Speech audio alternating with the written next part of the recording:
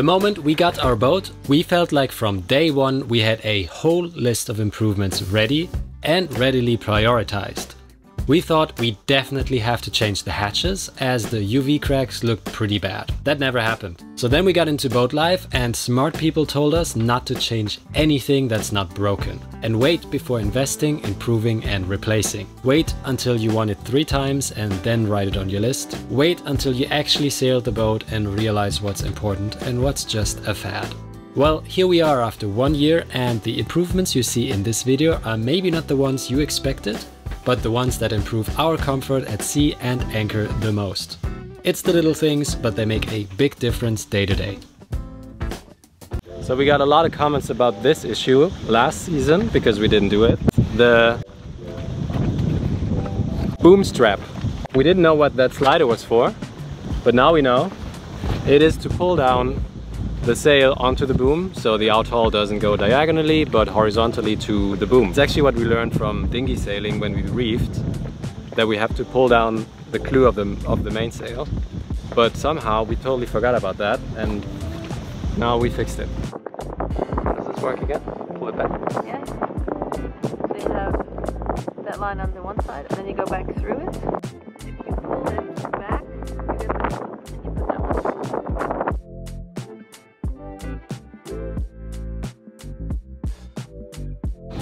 So another nice thing about this kind of method is the line, the thread in this speedy stitcher is waxed. It's called whipping twine and the way you end your stitch is with a lighter you just light the ends of the twine and they shrink. So once that twine shrank down and you have a little bubble on top you just hit it with your lighter and you make it into a nail head and then that won't come undone, it won't go through the hole anymore and it's gonna be stuck forever.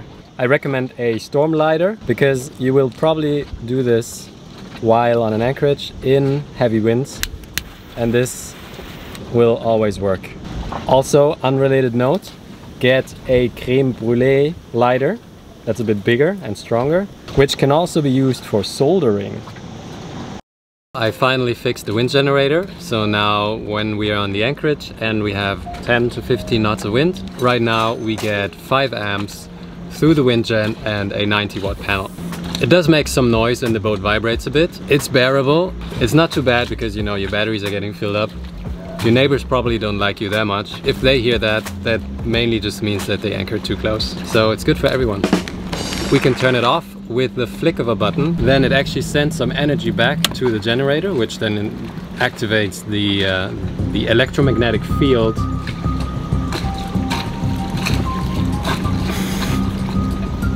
and then uh, stops the blades from whirring. In heavy winds they just turn like really slowly. I don't know why that's important. One of the most obvious improvements this season is the new Bimini. It is massive and it came from a 43 foot Jeanneau. Now it goes from the push pit to the push pit, whilst before our Bimini was kind of small and it went from the inside of the coaming to the other side of the coaming. So we had better access walking outside forward, but there was no shade at all. Somehow the sun always came through. That bugged Mandy a lot. So she decided that we need a new Bimini. She found this Bimini on Milanuncios, which is something like Craigslist. Well, we got it for a really good price. 120 euros for the stainless construction. Unfortunately, we did not have the cloth. So we had to get that made by a nice woman in the marina. She actually does that in her boat, which is quite impressive because Yeah, that thing is massive. And the boat is only 32 foot, so she has a small boat and she produces all these things for basically the whole marina. It's pretty cool. We have a little netted window right next to the helm so we can see the sails flapping whenever Alex doesn't trim them right. We just have to say so Mandy can see the sails and trim. Okay. So the sailor girl Mandy can see the sail and trim it. So my life is great now. So is mine. so that's good. Yeah, also her life is great because Mandy finishes things with the help of me because honestly, I did the fuck.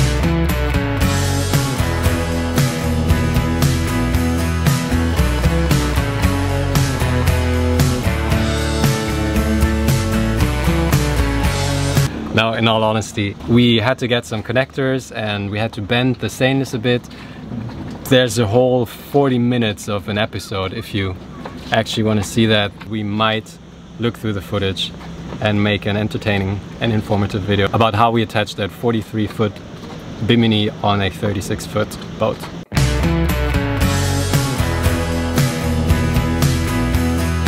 You might remember from the boat tour video that we have solar panels on top of the Bimini. We have a new Bimini, so we have to attach the solar panels freshly and very securely with springy, springy cords. And also we have a deck shower outlet, which was broken, and that's where the cables for the, for the solar came out last season. Kind of a dirty fix because the cable didn't fit through the through the deck shower outlet. We had to drill through the boat, put new through holes. How do you call them? Deck deck fittings. That was also kind of interesting because of course I didn't look up how to do it and I cracked the gel coat.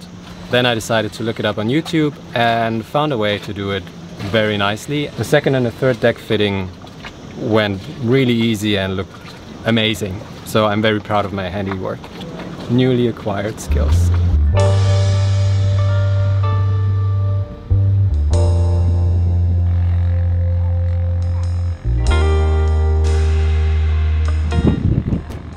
Alex found something floating in the water, so he picked it up. I think the wind's a bit bad. And he is now going through the anchorage, I think. Probably looking for its owner. I can't see him, but I can hear the dinghy. So you did not find the owner? Um, some Swedish boat told me that two catamarans left, that they had the same kind of cushions. Yeah. So that goes off the deposit and we have a new pillow. Great. Yep. That's what we wanted. I thought it was a floating device. Like, Yeah, me too. New responsibility. maybe we leave it on the beach on a chair and somebody has a comfort chair. Maybe. Good idea. So the backstays go through the Bimini through a little hole that is um, double layered so it doesn't chafe that much. And for additional protection, I just found some foam and cable tied it around the area of the Bimini. Another hopefully useful investment is our new Wi-Fi system. Jeez, bright. It's the Wi-Fi Camp Pro by Alfa I just attached the Wi-Fi antenna to the wind generator pole. There's a long USB cable on it that connects to the inside router with additional Wi-Fi. So the outside antenna connects to any restaurant Wi-Fi you may find at the anchorage and then it just relays the signal to the inside router that then creates a Wi-Fi for the boat. It's still in trial mode, so now the cable just runs through the cockpit whenever we want to try it out. We do find a lot of Wi-Fi's right here, but that's mainly the super yachts and the charter boats with all their 4G mini routers. But as soon as we are closer to a restaurant on the beach, we might be lucky and can steal their internet. The little Alfa router inside runs on 12 volts, so we just connect it to the 12 volt domestics, just grab any voltage you can find and turn it on and off whenever we need it.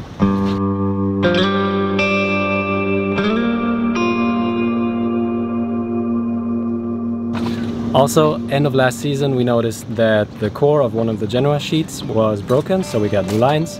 This time black, because I think we found a new color scheme, black, red and white.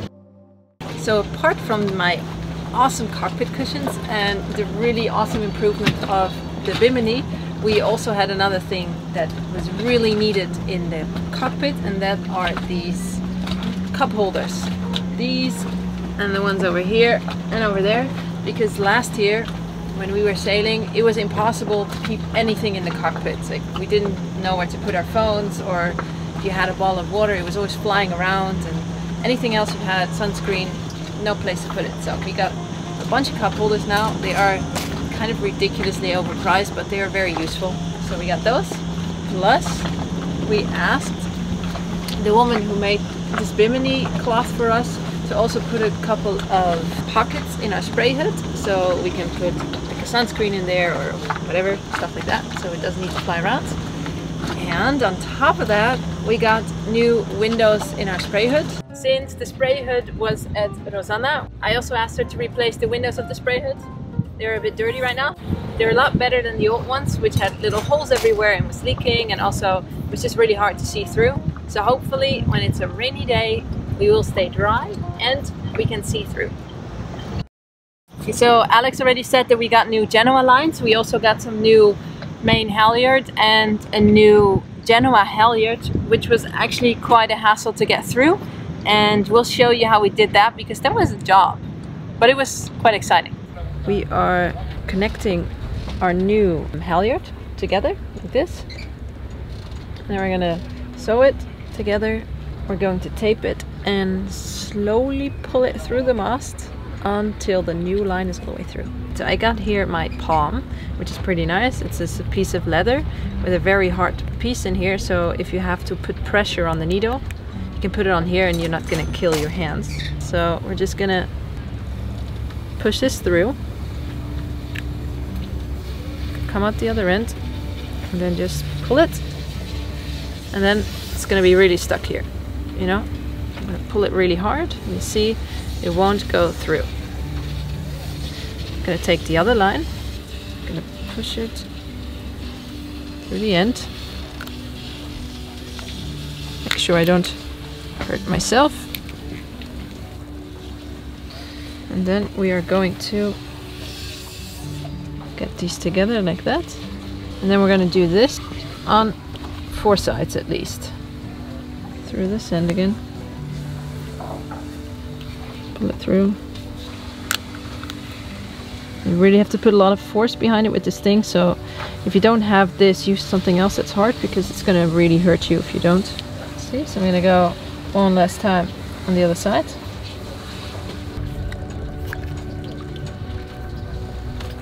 Alright. Pull it. Has to be tight though. Alright, so we cut it.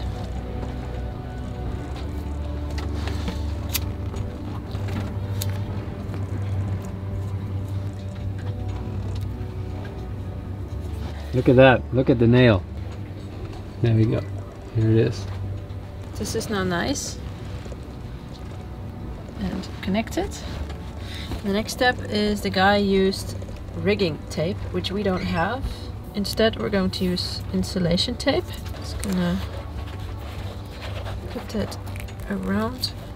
All right. So this looks pretty smooth. This looks good, huh? All right, so we're first flaking the line. Happy with the line? It's a great line. if you're still watching, I admire your attention span. Off All we right, go. off we go. So this is the critical point. It's a bit stiffer than the rest of the line.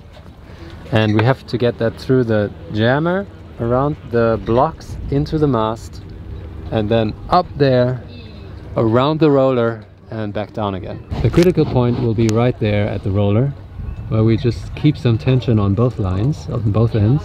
So we just flip those over, so it doesn't switch any of those rollers or goes in between. Oh god, Ooh, the first one was a, s- a little bit it difficult. was blocky already.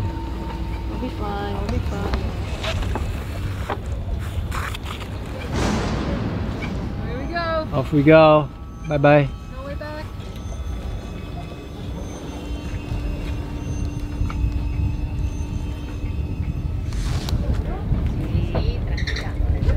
Alright, so that's, I think it's at the top now, and we have to get that end through. And I don't know how. So that's not as easy as it looks. Come on! Here it is. Alright, so this got stuck here, obviously. So it seems that our quadruple 8 knot from the beginning is the issue. It's quite big. Eventually we just cut the quadruple 8 knot and used that one centimeter excess line. Burnt it. See. test the strength. Seems quite strong.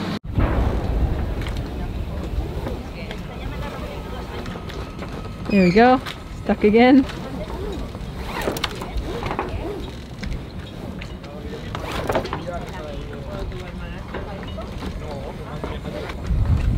So much for a simple job. I can't see. But Alex managed. He managed. Yeah, thanks to the saliva Oh, true. I spit on it. of Mandy. There you go, baby. You did it. Got it back. Is the line long enough? I hope so. Does it look like it? Yep. Quite A long. little loop left. There you have it. The thing we also changed, which was mainly my concern since I'm always worried about our batteries and our energy level, is the navigation light. So instead of 25 watts, which is the one here in the front that gives us the red and the green navigation light, it does only 2 or 3 watts. And the navigation light on the stern of the boat actually only uses 0.6 watts instead of 10. I will be sleeping a lot better when we're on the sail now.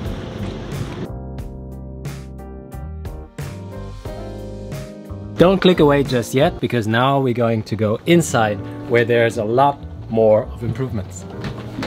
Okay, so the first thing we did, which is the best improvement I think if you want to have a comfortable life, is we got a new tap. One that is way higher than the old one because now you can actually put pots under it and bigger things and you can actually move stuff around because you know the sink is also used as a cutting board slash countertop. And before the tap was always so low that if you put stuff on the counter and you needed to go inside the sink it was always the tap was always in the way. So we got a bigger one and very high and I can put anything under it and cleaning is just so easy Stop wasting water! of course our old water filter didn't fit on the new tap so we got ourselves a new one which actually is really small and really handy and that means that we can just keep drinking the water from the tanks which is extremely chloride here in Spain. It works and we can drink it. The only thing though is if you open the tap too much which you generally do right away this thing sprays everywhere. And the good thing is it's right next to the navigation table with all of our electronics so that tends to get a bit sprayed now We also decided to change the tap in the head because the old one was ugly and a bit too high and you can see this one fits a bit better and it looks quite nice. So to keep me safe on passages and on wobbly anchorages, we got something that is very important for my head, and that is this little spring thing on the fridge door, or what is it, the fridge hatch. When we were sailing or when we're on anchorage like now that's really wobbly and I want to get something out of the fridge, this thing tends to fall down, and I've gotten it on my head a couple of times and it really hurts. And this is really nice, it stays, but if you want to put it in, you just push it, and then Voila! So simple, but our boat didn't have it. And you really need that if you don't want to get a hole in your head.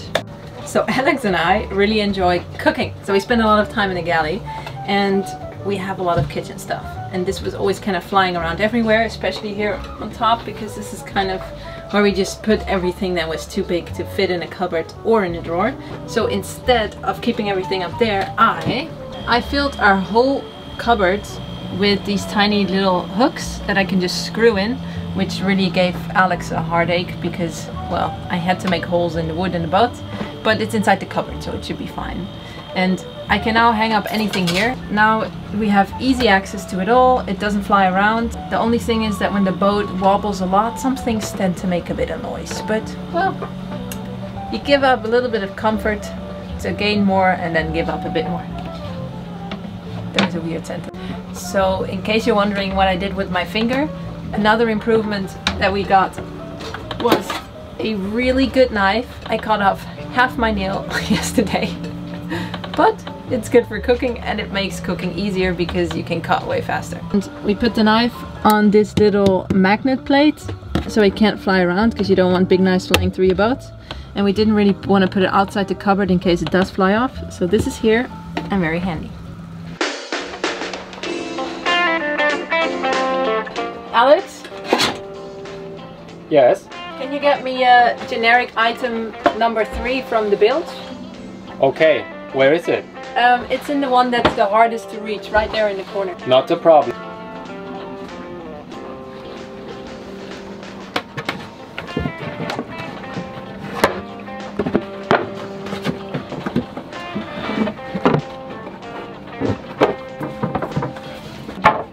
Do you need this. We have a lot of food in the bilges and our floorboards have little hooks to lift them, but not all of them. And of course, the things we need the most, we put them in the bilge that is furthest away. But I came up with a great invention, which is getting little straps, cutting them to a piece and attaching them on the sides of every floorboard. So now we can lift them without going through every floorboard on the boat. Because I like to make the boat feel like home, I got something that makes it feel very homey and that is a clock, because I like to know time, and a weather station. So we know the temperature. Totally forgot that we installed a new battery monitor with a shunt, the Victron Smart Monitor. So with this app we can now see the state of charge at all times and also the current that's flowing in or out and how much time we have remaining until the battery is halfway dead.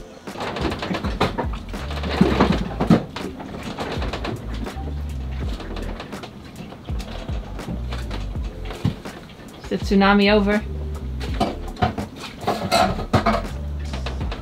No, it's coming back. It's coming back. All right, hold on. The Cala Saona is a very protected anchorage on Formentera and that's why a lot of boats come here. But at the same time, because of a lot of boats, there's a lot of swell and the super yachts that pass by from far away, no blame, they go full throttle and once every, I don't know, 20 minutes we just get a massive tsunami and every boat in the anchorage gets slammed. But uh, we are worse than most because we have a flat bottom and that just makes this boat very rolly. It's lovely. Yeah. So apart from the obvious big changes that you've seen, most of the things we did this year were quite minor. They seem insignificant, but they're really not. It's those little things that make our lives so much easier every day. So if you are a creative boat person and you have a lot of secret inventions, then put them in the comments so they are not that secret anymore and everybody can gain from them, especially us, because we would love to improve our boats. Okay, bye.